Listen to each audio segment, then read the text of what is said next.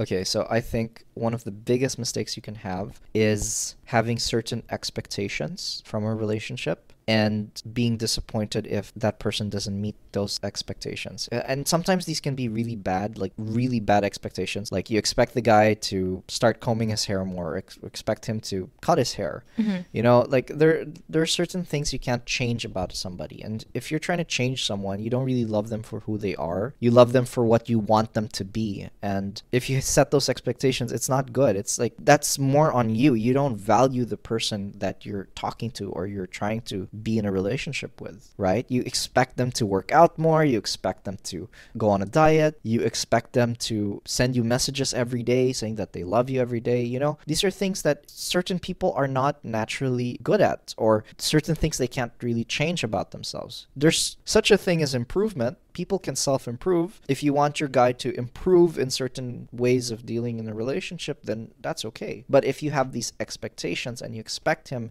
or her to perform and they don't meet that, then that is a very selfish thing Yeah. in my opinion, to think about. Mm-hmm. So that is a big mistake. Again, quoting my same friend, this is one of her biggest problems because everybody she tries to date, she always has these big expectations. And the worst is that she gives so much expecting all that in return. Mm-hmm. So she is giving with that condition. hmm So it's conditional. Exactly. It's like, okay, I'm giving, I really love you, but then why aren't you doing the same for me?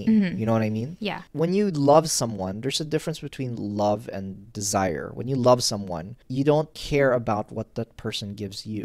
You just want to give that person. Agree. But desire is you want to take from that person. You know, you need that person. You want to take what they can give you.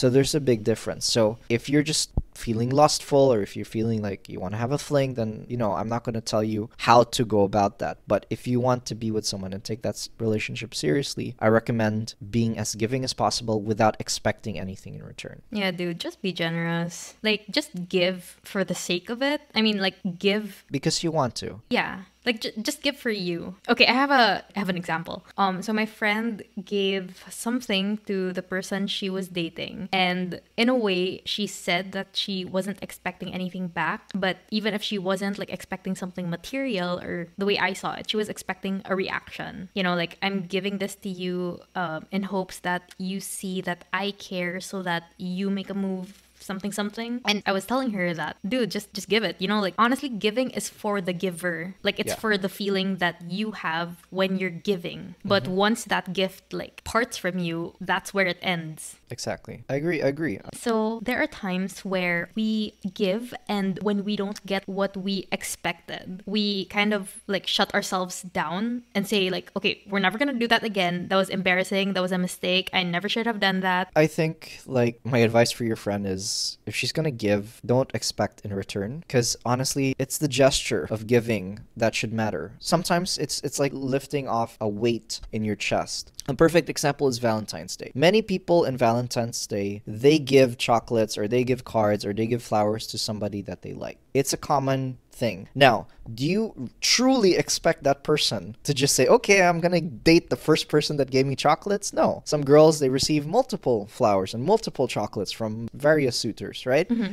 And some guys too receive a lot of gifts from girls as well, although I think it's more like guys to girls. Anyway, you don't expect that person to date you. You don't even expect that person to say thank you. Because in the end of the day, you're doing it because you like that person. It's a simple gesture of, "Mm, I like you, this is for you. So treat it like Valentine's Day. You know, if you like somebody, you give somebody that thing and you don't expect anything in return. Recently, it was Christmas and uh, I gave Dani a gift that I was working on for like a couple of days. And my approach wasn't like, okay, I want her to react this way. My approach was more like, crap, I hope she likes it. That was it. that was my only approach. So, see, so it wasn't like I expected her to react a certain way and to and love it a certain way. In fact, in fact, honestly, th- the beauty of me giving that gift was she completely exceeded my expectations. Her reaction was like, whoa. And I was like, huh? She loves it that much? She likes it that much? So I was so happy. I was really so happy in the end because